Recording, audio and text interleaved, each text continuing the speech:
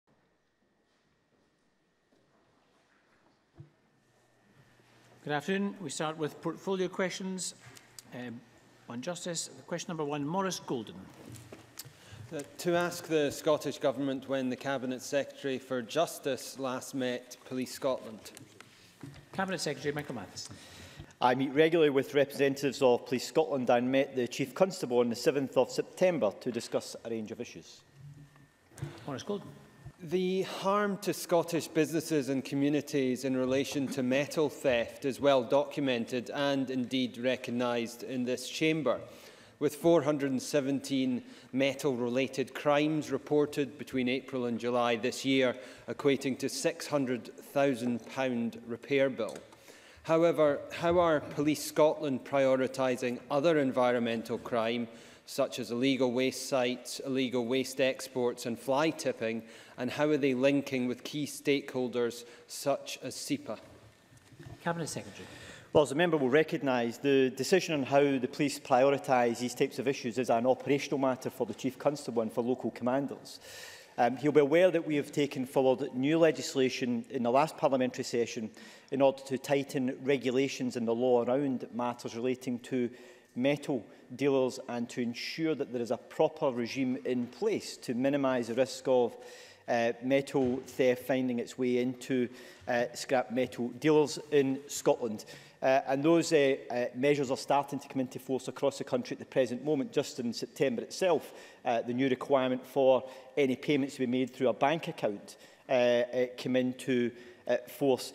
With regards to the other specific aspects, if the uh, member has a concern about how the police are handling any particular issue within his own region or constituency area, um, he is at liberty to discuss that matter with the local commander if he's concerned about the way in which they are prioritising these issues.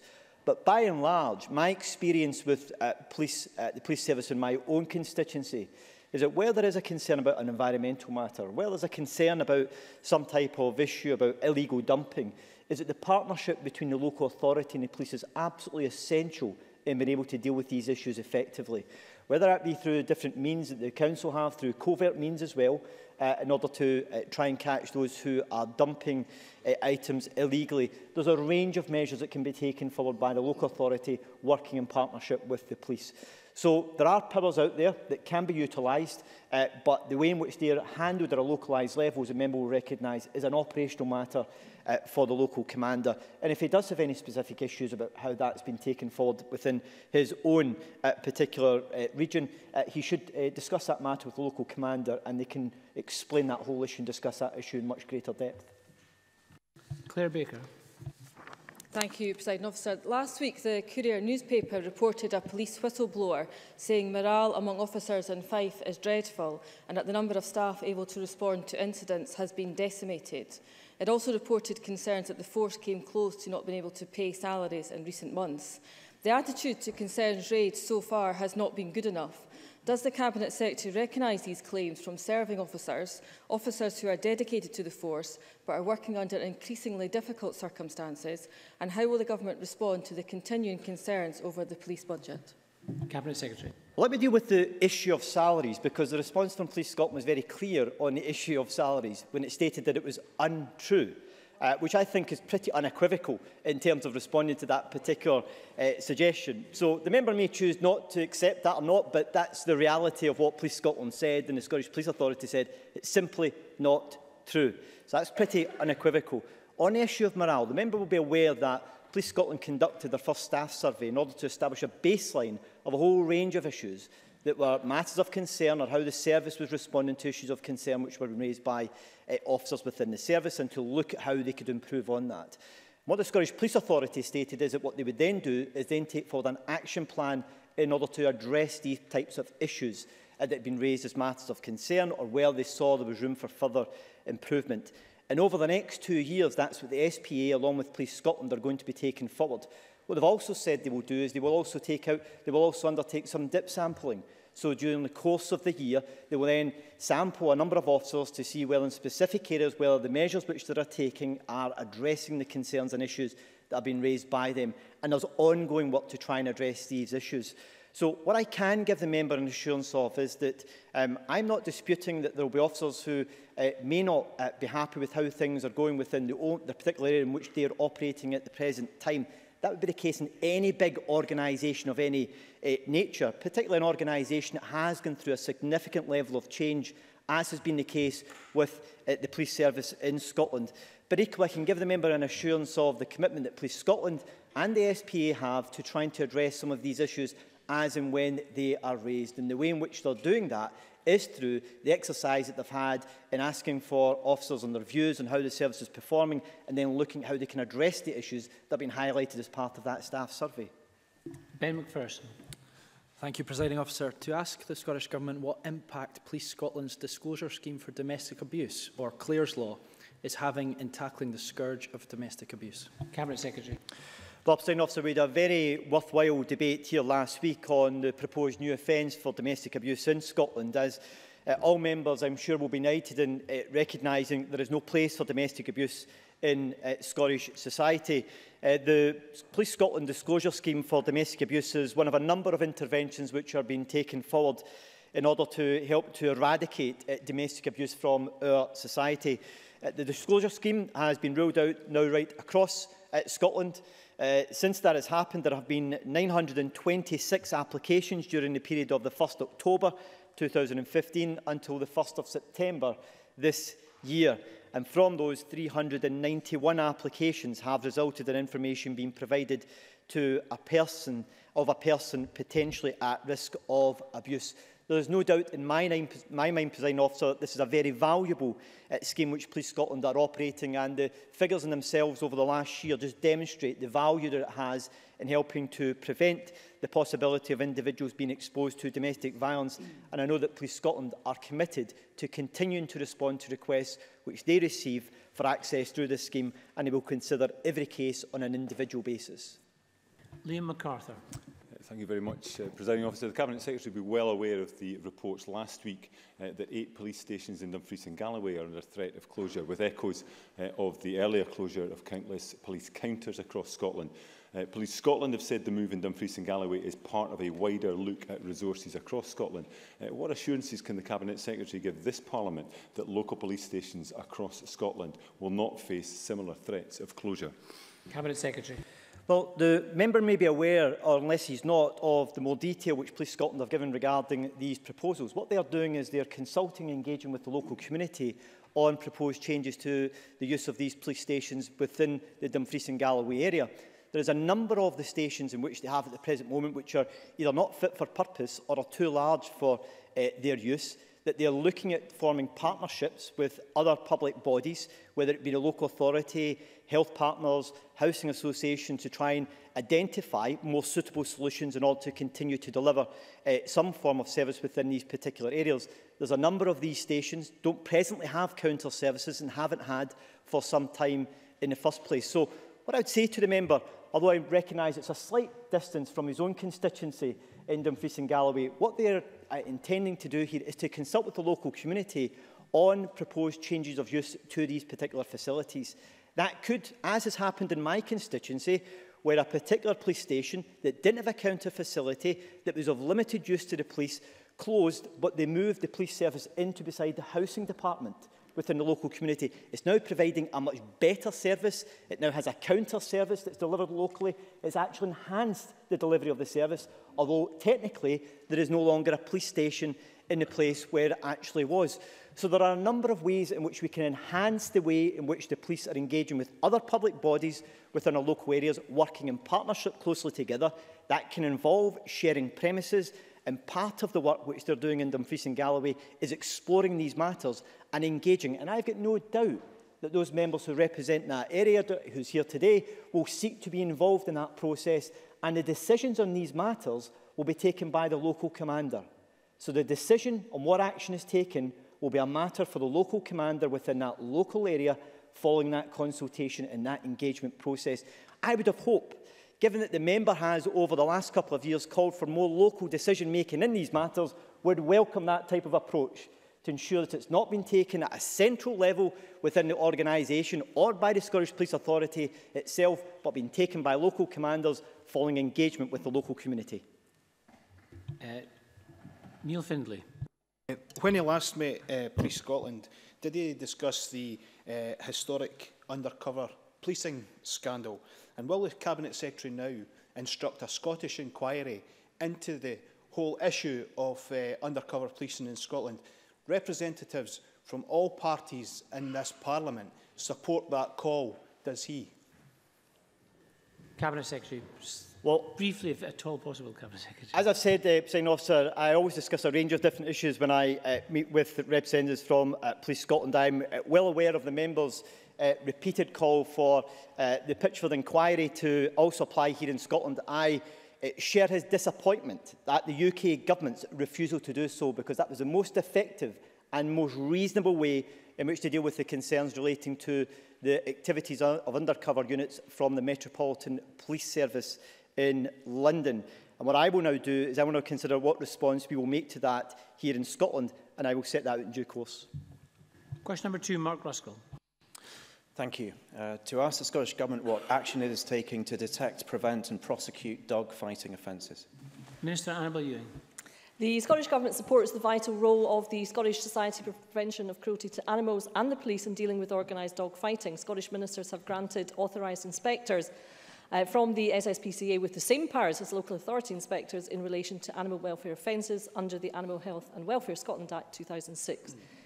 These powers differ only from those of police constables in relation to to the arrest of an offender.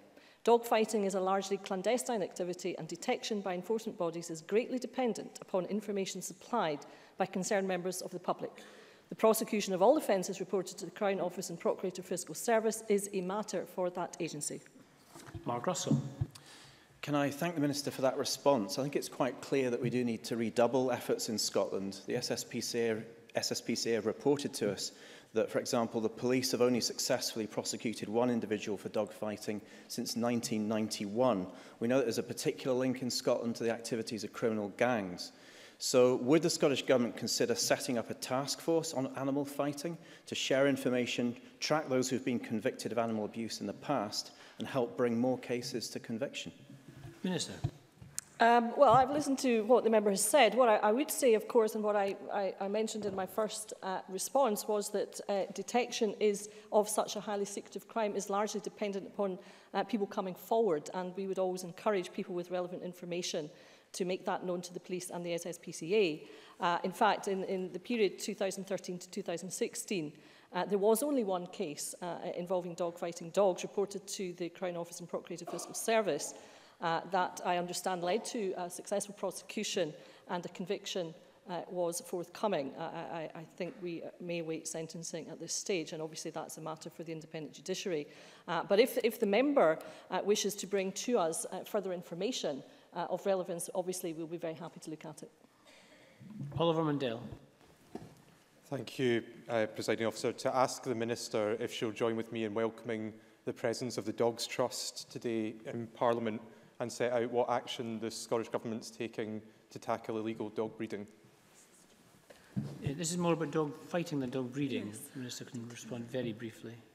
Uh, well, I, I welcome all uh, groups who come to the Parliament to seek to uh, uh, communicate with uh, uh, uh, MSPs and I welcome the Dog Trust in that respect. Uh, I actually will be meeting in, in a, my capacity as an individual MSP with the Dogs Trust uh, during the course of the week and obviously I'll listen to anything that they have to say on the subject that the member raised. Thank you, Minister. Number three, question number three, Maurice Corey. Uh, to ask the Scottish Government how it will fill the reported £21 million cash shortfall faced by Police Scotland. Cabinet Secretary. Uh, the Scottish Government is in regular contact with the Scottish Police Authority, which is taking steps to manage the in-year financial position. Maurice Corrie. Uh, thank you, Minister, for your reply to my first question. Recently, a statement by a whistleblower from within Police Scotland was published by the Scottish Police Federation, which said that police officers, and I quote, are being told not to be proactive and investigate drug, dealers because they could cause overtime, close quote. Can the Minister tell me why police officers are being stopped from incurring overtime in their fight against drug dealers? Cabinet Secretary. Well, as a member may be aware, Police Scotland responded to that matter and said there is no ban on overtime. Uh, Christine Graham. Uh, I asked the Cabinet Secretary that perhaps he would advise uh, Mr Corrie that so far the UK has kept 72 million in VAT levied on Police Scotland, the only police force in the whole of the UK to have VAT levied. And given that the UK has now granted VAT exemption to academy schools, which previously paid it, this doesn't just seem to me to be perverse, but to in fact to be punitive. Cabinet Secretary. Well, I think the member does raise a reasonable point, although it did raise some murmuring from our colleagues in the Conservative benches, because it seems to be that when it comes to allowing uh, the recovery of VAT, there are double standards in the way in which Her Majesty's Treasury in London operate. They chose to change the law, the VAT law, to allow academy schools which are centrally funded by the UK government to be able to recover VAT, but they've chosen not to for Police Scotland, which means that we, are the, we have the only force in the UK that is unable to recover VAT. And since Police Scotland has been established, that has caused the Scottish taxpayer £76.5 million, pounds, almost, uh, and almost 20, between 25 and 30 million pounds per year. In addition to that, there's also an extra 10 million pounds which is uh, afforded to the Scottish Fire and Rescue Service. So I think it is perfectly reasonable that Police Scotland should be treated on an equal footing with other police services within the UK, including national forces like the PSNI and as a centrally funded organisation in the same way that academy schools are okay, and the HM, uh, the, Her Majesty's Treasury should recognise that this discriminatory approach against Police Scotland is simply unacceptable. Maybe the members on that side will stand up for Police Scotland rather than just doing the bidding work of their colleagues at Westminster. Colin Smith. Thank you, President Officer. Will the Justice Secretary accept that, that the cost-cutting proposals from Police Scotland to close eight police stations in Dumfries and Galloway on the back of the closure of the police control room, the scrapping of traffic wardens, the closure of public counters in numerous police stations, the cut in opening hours and the massive cull in civilian staff posts will be a further erosion of services to the people of Dumfries and Galloway and will acknowledge that it is peripheral, largely rural regions in areas such as the south of Scotland that lose out most as a result of the government's obsession with centralising police services? Cabinet Secretary. Well, I mentioned to uh, the colleague, of the member who asked a question earlier on regarding Dumfries and Galloway, the decision around any changes to the use of police stations in that particular area will be a matter for the local commander. Uh, this is a consultation exercise which is undertaken with the local community and with local stakeholders, including the member if he wishes to participate in that process and it will take place over the next three to four months. It's an opportunity for the police service to look at where there are better ways in which they can use their resources. So, for example, where it's looking at shared services with other parts of the public sector in order to bring them closer together to make sure they've got stronger partnerships. That's one of the options which they wish to look at. So I think it's an opportunity to look at shaping the service to make sure that it's able to meet local demands within the Dumfries and Galloway community. And I'm sure the member will welcome the fact that decisions in this matter, with the oversight of the Scottish Police Authority, will be made by the local commander. A criticism that was made in the past about changes where local commanders were not able to make these decisions. It was often voiced in this Parliament. This time round, Police Scotland are doing exactly that. with oversight from the Scottish Police Authority. And I would have thought the member would welcome that type of local approach. Question number four, Edward Mountain. To ask the Scottish Government whether it considers the proposed location of the new Highland Prison is the most appropriate site. Cabinet Secretary. On the 27th of June 2016, the Scottish Prison Service announced that they were pausing the planning consultation process on a proposed site at Milton of Lees to ascertain if a viable alternative option for the location of the replacement of HMP Inverness was available elsewhere. Following discussions with the owner of the Milton of Lees site, a proposed alternative site was brought forward, which had not been previously available as a potential prison site. A full assessment is currently being undertaken and we anticipate an outcome within the next three or four months. Edward Mountain. May I firstly welcome all the work that's being done, done by the Governor and her team at Porterfield Prison at the moment, making use of very limited and outdated facilities. Turning back to the situation, there were 12 sites originally proposed. The consultants who looked at this used a traffic light system. Seven was classed as red, and for those that don't understand, that's a no-go. Four as amber, which have potential but were not perfect, and one was green.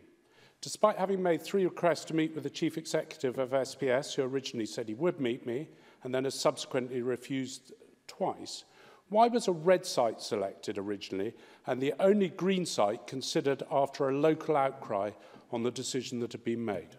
Cabinet Secretary. Well, I think the member uh, should recognise that the Scottish Prison Service have chosen to pause the uh, original uh, approach that they were intending to take uh, in the Inverness area and are presently exploring options with Eh, a site that previously was not available to them as a possible site for building a new establishment within, establishment within the Inverness city area.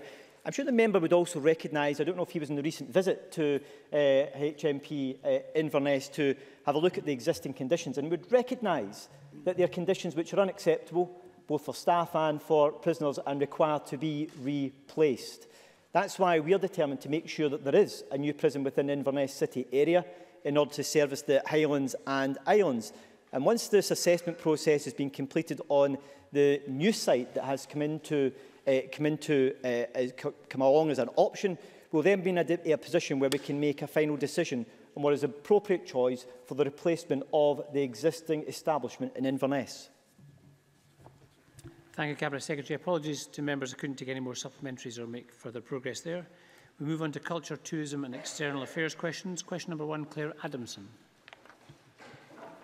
Thank you, Presiding Officer. To ask the Scottish Government whether it will provide an update on its participation in the Brexit negotiations. Uh, Minister Michael Russell.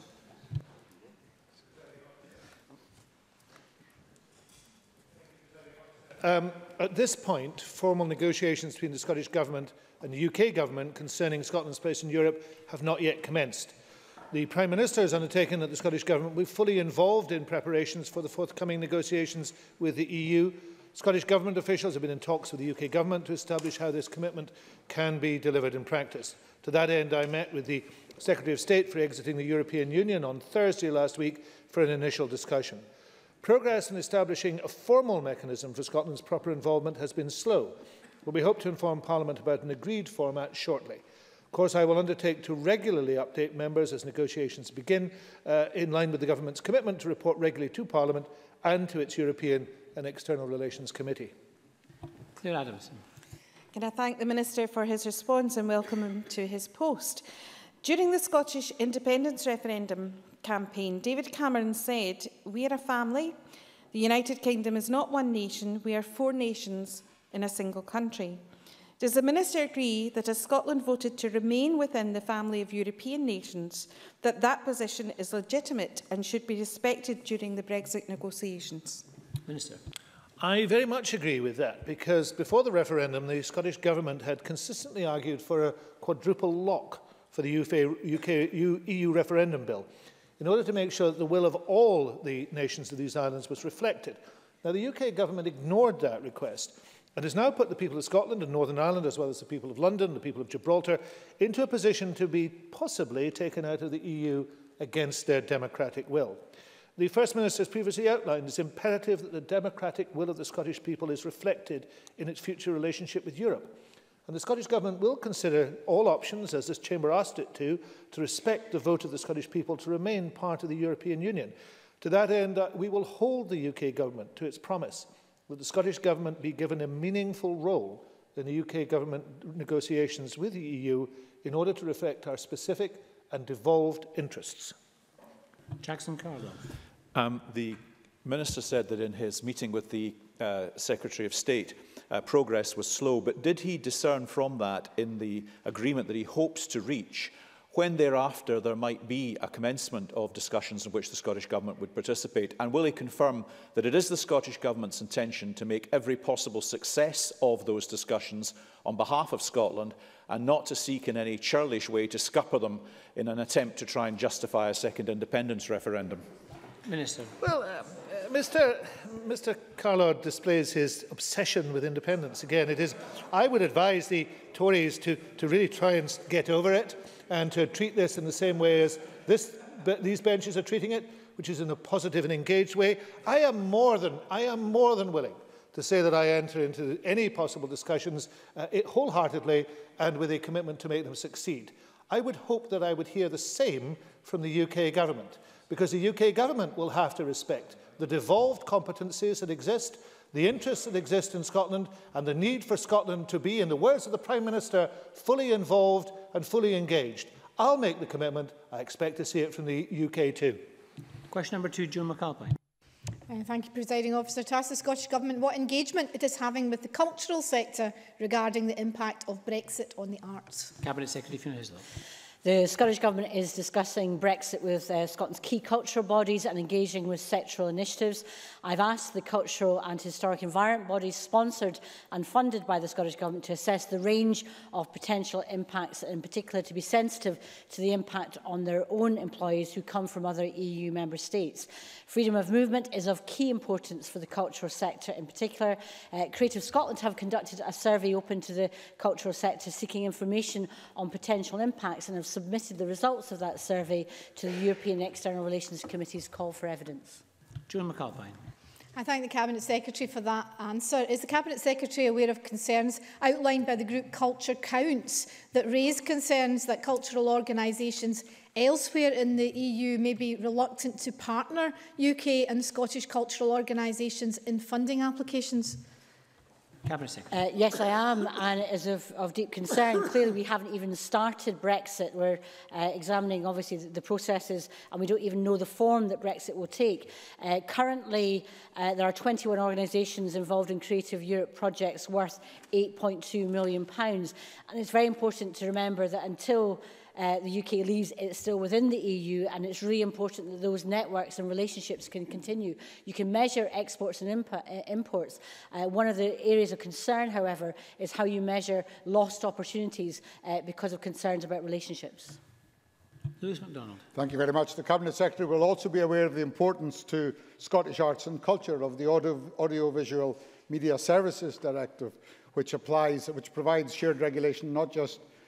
among European Union countries, but also other member states of the European Economic Area, which are right with the EU. Can she tell us whether the Scottish Government is engaging currently with the arts and cultural sector in order to identify how those uh, advantages can be protected, particularly given that that directive is currently uh, in the process of review?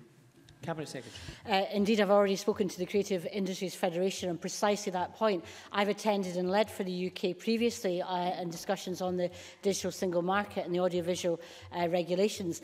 And clearly, um, the relationship will change because the UK will not be part of those discussions. Uh, so therefore, the issue will be what are the opportunities for Scotland, but more importantly, in terms of uh, the fact that UK and indeed Scotland would have been chief beneficiaries of such a move to a digital single market. The impact of that is not just currently of what is lost now, but what might be lost in the future. Question number three, John Lamond. Uh, thank you, Presiding Officer. Uh, to ask the Scottish Government what discussions it has had with Visit Northumberland, Visit Cumbria and local authorities regarding promoting cross-border tourism.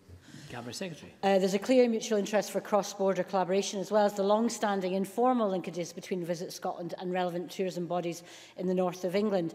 The Scottish Government understand that uh, Carlisle City Council, Cumbria County Council, Northumbria County Council Dumfries and Galloway uh, Council and Scottish Borders Council continue to work together to develop cross-border tourism as they build on the Borderlands Initiative. Um, I thank the Cabinet Secretary um, for that answer and I'm pleased that she made mention to the Borderlands um, initiative. One of the strands of this initiative is to um, build and promote the Borderlands as a tourist destination and after an encouraging start there's a feeling amongst some stakeholders that progress has stalled. To date, no strategy or development plan has been published. I, acknowledge that to move this forward requires co the cooperation of both the UK and Scottish governments as well as local councils and the Scotland office has confirmed with me that they share my desire to move this initiative forward. So does the Cabinet Secretary agree with me that the Scottish Borders has a lot to offer as a tourist destination and will she pledge to do more to promote cross-border cooperation on tourism? Cabinet Secretary.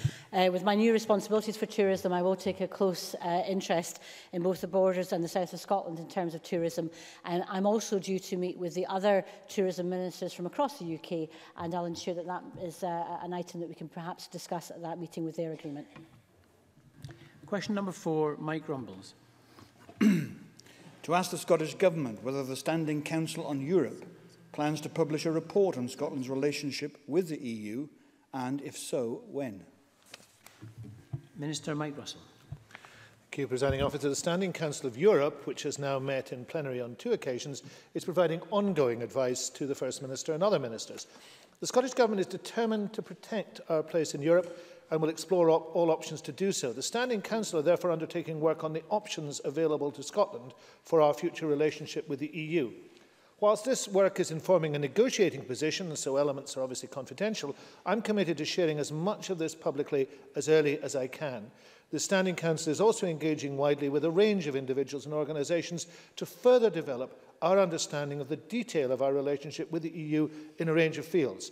Through this process, information is being shared and views gathered as openly as possible uh, uh, across a range of topics, the environment, human rights, higher and further education only being examples. my grumbles. Well, I commend the government for its forward thinking in setting this up, um, especially looking at options. But however, in committee this morning, I asked the Cabinet Secretary for the Rural Economy if he had set up a team of civil servants to design options for our Scottish system of farm payments for post-2020 after we've left the EU, because this is entirely devolved. From his response, it turns out that he has done absolutely no forward thinking on this subject whatsoever. Will the Minister encourage Fergus Ewing to put his thinking cap on? Minister. Well, I would encourage everybody to put their thinking cap on. I'd be glad to see a thinking cap on the Liberal Democrats, if that's not uh, uh, something that baffles one. I'd like to see a thinking cap on the ministers in the UK government. But it is important that we all consider the range of options. I have to say, I found Fergus Ewing to be very forward-thinking on these matters. The first event that the first event I attended that organized for stakeholders was one that he has attended. He has another event this week, I think, in Moffat on Friday on the forestry sector. He is talking to the sectors. He is looking at the potential that those sectors have. He is trying to come to some conclusions. It won't all be done in an afternoon, even if the Lib Dems think it can be.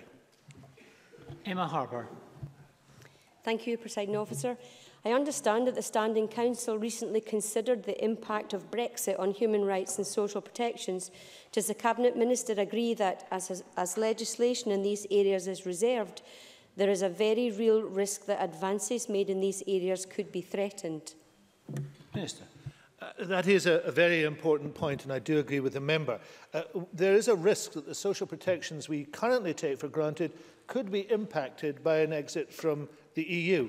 Now, the work undertaken by the members of the Standing Council has highlighted the extent to which an exit from the EU could create a gap between the current protections enjoyed across a range of areas, including employment law and human rights, and any future policy making in these areas outwith the framework of the EU. So the Standing Council will be undertaking further analysis, engaging widely to ensure that Scotland's interests are protected in future relations, and to make sure that there is no regression from the current range of protections enjoyed by all citizens, as well as making sure that we continue to move forward, as obviously there is a European dynamic both in social protection and in human rights. And the Standing Council benefits greatly from the input of Professor Alan Miller, who is, of course, a UN envoy on human rights. Question number five, Rhoda Grant. To ask the Scottish Government what plans it has to develop tourism facilities on the North Coast 500 tourist route. Cabinet Secretary. The Scottish Government is a member of a multi-partner group recently established by Highlands and Islands Enterprise to lead on the strategic delivery of the opportunities offered by the North Coast 500. The main objective of the group, which includes the Highland Council and North Coast 500 amongst its membership, is to ensure economic benefits are spread across the North Highlands. The Scottish Government is also a key partner in the tourist, uh, tourist redevelopment of Inverness Castle, which acts as the start and finish point of the route and which will, when finished, encourage encourage tourism throughout the Highlands. Rudy Grand. Um, the Cabinet Secretary will be aware that the route um, has succeeded way beyond expectations and that has impacted on infrastructure. Will the Scottish Government help Highland Council fund essential maintenance and upgrades along the route to ensure that it's as safe as possible, given that a lot of the route is still single track road And will she also work with HIE to ensure that there's sufficient accommodation, something that is lacking in some of the smaller villages um, along the route to help cater for the increased visitor numbers? Cabinet Secretary. Well, success is a good thing to have, and uh, I'd like to congratulate everybody involved. That obviously brings with it challenges. Some of it is about promotion, some of it's about facilities, and clearly in relation to the transport issues that she's raised, I will bring them uh, to the attention of the Transport Minister.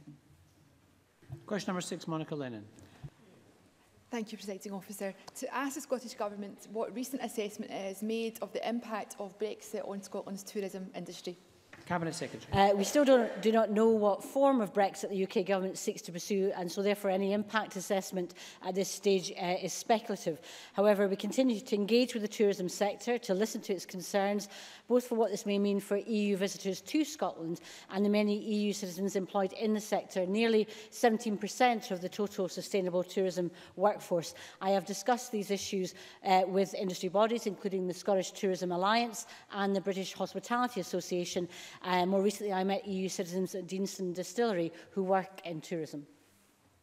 Monica Lennon. I thank the Cabinet Secretary for her reply. Scottish Labour would use the powers of the Scottish Parliament to give local authorities the ability to introduce a tourism tax locally, should they wish to. Does the Cabinet Secretary agree that this devolution of power to local authorities, which would allow them to raise revenue from untapped streams, would be a welcome boost to Scotland's tourism industry following the Brexit vote? Cabinet Secretary. Uh, I was working out what the connection to the Brexit vote was in that, in that uh, question. It's been raised uh, a number of times by a number of uh, Monica Lennon's uh, colleagues and, and previous colleagues. It's something that I know uh, some local authorities are, are keen on. I know it's something that the Labour Party are keen on. Um, there are issues, however. We are the highest uh, taxed tourism uh, country in uh, the whole of the, the second highest in the whole of the EU.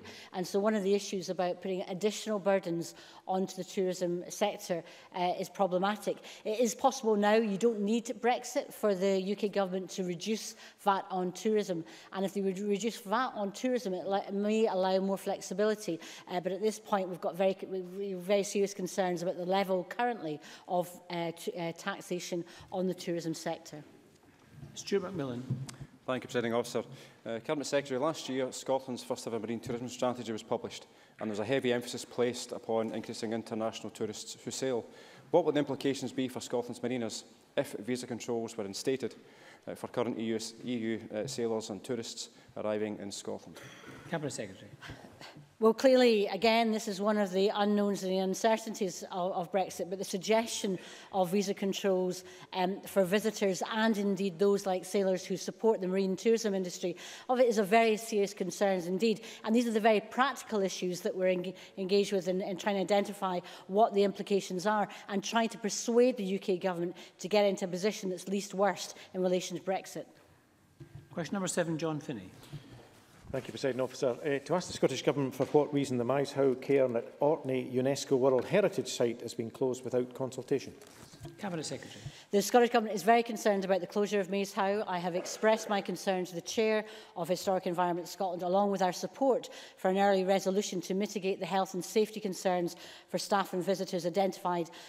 following a new assessment in August, triggered by their own decision to put on temporary hold the proposed infrastructure project. The care and management of Maze Howe is delegated by Scottish Ministers to Historic Environment Scotland, and they are also responsible under health and safety legislation for taking whatever steps are necessary to manage the safety of, and, of visitors and staff at properties they manage. And of course, that was a point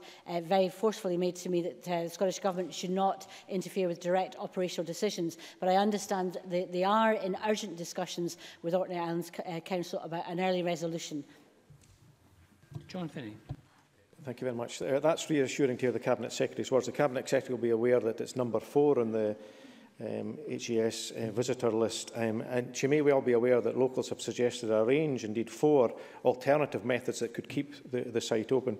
Um, I've had a number of representations and people are, are very concerned, not least because not only is it a UNESCO heritage, but of course it's of significant part of the island's heritage, not least with the winter solstice coming up.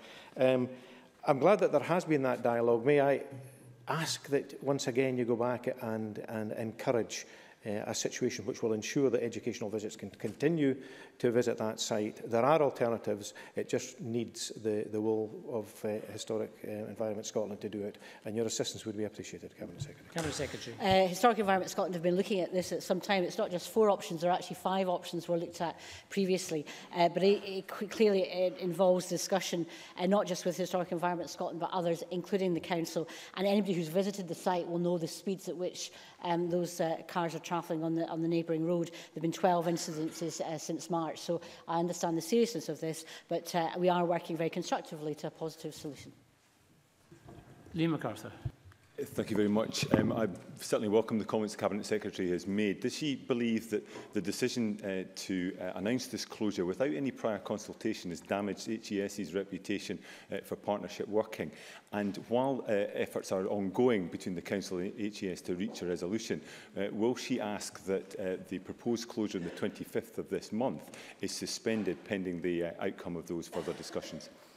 Cabinet Secretary a health and, clearly a health and safety assessment was made eh, in August and there was some time given to try and see what resolution could be done and mitigation but I can't interfere with their operational issues particularly in relation to health and safety um, but I do think that uh, we need to make, get resolution and constructive ideas about how to resolve it it's a fantastic site it's really important that we celebrate it and we have access both for educational and visitors and, and I will be doing everything I can in terms of encouraging both